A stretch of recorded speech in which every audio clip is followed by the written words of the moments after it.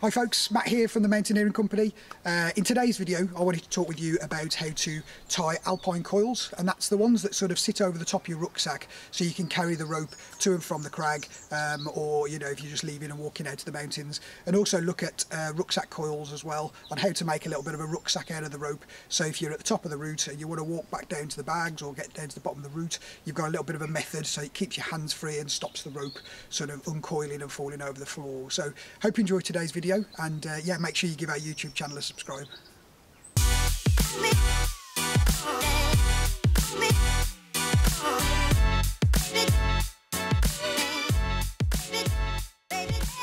The first method I'm going to talk to you about is the alpine coils. I really like this method um, but it does have its limitations. Um, it's really useful for sort of shorter ropes so 50, 40 metres or less works really well because you're going to coil it with a single strand rather than using a double strand. So you start off with a strand of rope, take the end of the rope like that, you're going to just pop it over your head and you're going to just make a sort of a, a, a strand in front of you and just whip it over the top of your head and you're going to keep doing that all the way through.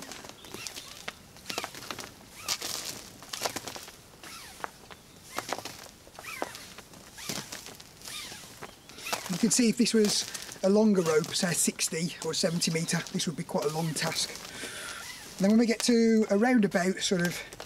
two metres, three metres of, of tail there, we're going to take the rope from around the head and I'll do a, a little close-up of this as well. And what we're going to do here is we're going to take a little loop there and another little loop just there and then we're going to coil the rope over the top like so. So we've created like a couple of little bunny ears and we're going to just keep coiling the rope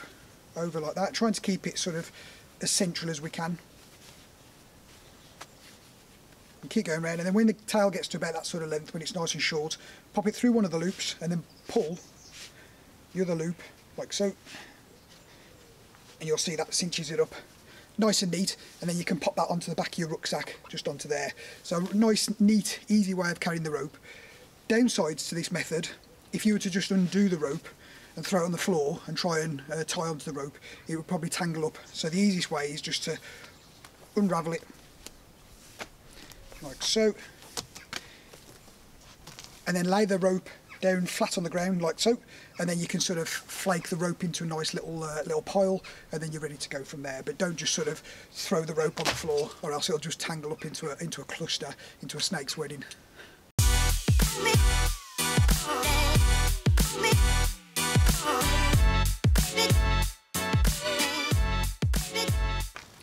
Great stuff. So the next method is the uh, the rope coil backpack or the coil backpack, whatever you want to call it. Um, and it's just a method of carrying the rope off the top of the crag or getting to the crag. If you haven't got a, a rucksack on, uh, you can sort of stick it over your shoulders and tie it to your body. So Starting off with the middle of the rope, now this rope doesn't have a middle marker so I've flaked out the, the, tails into a pile and I've ended up with the middle but if you've got a new rope it'll have a couple of black markers on there just to show the halfway point. Uh, sometimes with this method as well it's worthwhile putting your, your hood up on your jacket just to stop the uh, coils from sort of tangling inside your, your jacket.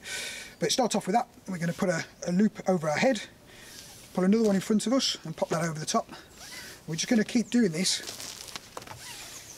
like so and repeating now if you find that you're, you've got a bigger rope, because you can do this with 50 or 60 or 70 metre rope, if you find that you're getting to this point and you can't hold on any more rope, I mean this is only a short rope, but if you, you've got quite a long one it might be too hard to hold. So then you can start to do it like this, where you can just pop the coils over your head if you need to.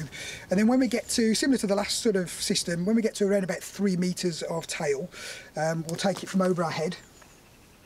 Obviously this is only a short rope, but it still works really well for this, uh, this method we're going to take the rope, we're going to go round the hand and coil it upwards, and I'll do a close-up of this one as well, over the top like so.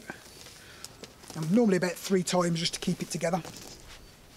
And then we pull our arm through.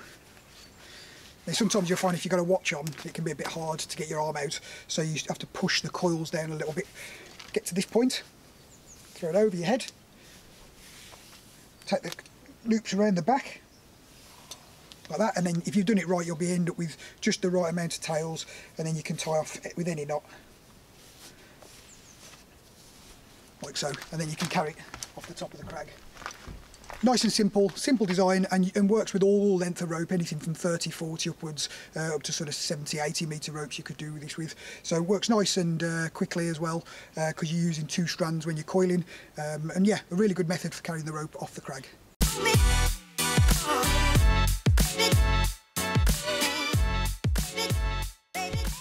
So I hope you enjoyed today's video about how to um, tie alpine coils on a rucksack and how to make a rucksack rope. Uh, if you enjoyed the videos, make sure you give the YouTube channel a like and subscribe and also check out our website www.themountaineeringcompany.co.uk for information about all the courses and events that we run throughout the year.